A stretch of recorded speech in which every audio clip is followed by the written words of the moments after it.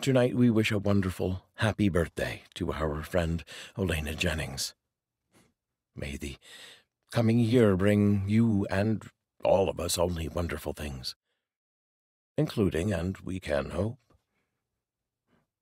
and pray, an end to the criminal invasion of Ukraine. From her wonderful collection, The Age of Secrets, we have My Ukraine by Olena Jennings.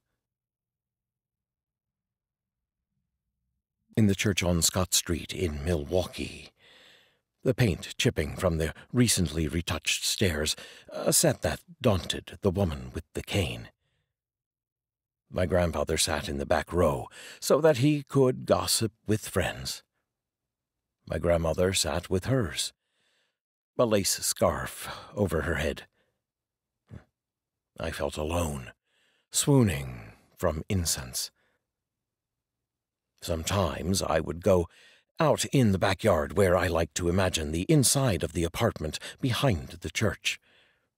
The rug that hung on the wall to keep the room warm. Now the chandeliers have gathered a layer of dust. Now there is a solitary bullet hole in the midnight blue stained glass. Now the walls are in danger of caving in. We use our hands to hold them up. News from Ukraine, an invasion. We use our hands to hold up the trembling walls. We won't let them fall. The voice of the choir resounds. Keep Ukraine safe.